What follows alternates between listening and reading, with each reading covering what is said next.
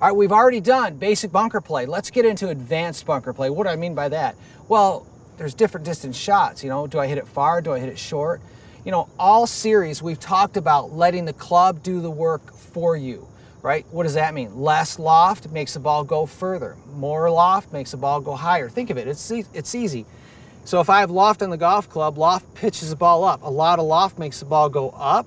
Less loft makes the ball go out. All right, so use your golf clubs to help you. That way you don't always have to gauge your swing, try to swing harder, easier.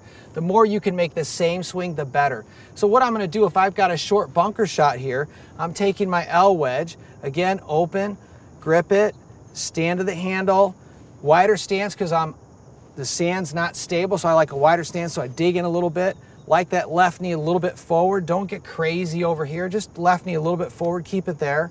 You're gonna stay planted. We talk about in any bunker shot, making sure you stay centered. You never wanna shift off the ball or off the shot. So I get centered, I swing it up with my arms, I swing it down.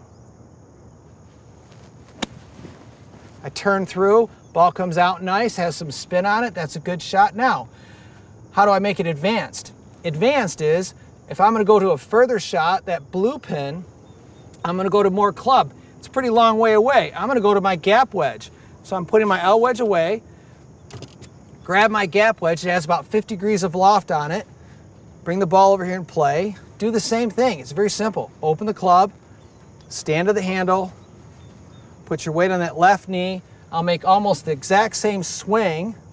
Maybe I'll let the club go a little bit further, a little bit higher for a little more speed, but I don't have to make a big adjustment and hit a nice shot without really making a big effort. So remember, keep it simple. Let me summarize. If you've got a short shot, use your lofted golf club. Use L wedge or sand wedge. If you've got a longer shot, get, grab your gap wedge, maybe even a pitching wedge. Always open the club. My point, let the club do the work for you. That way you don't have to do so much work and have so much practice. It'll be much simpler. You'll get up and down or out of the bunker without those bad shots more often. We're all about consistency at the scoring zone.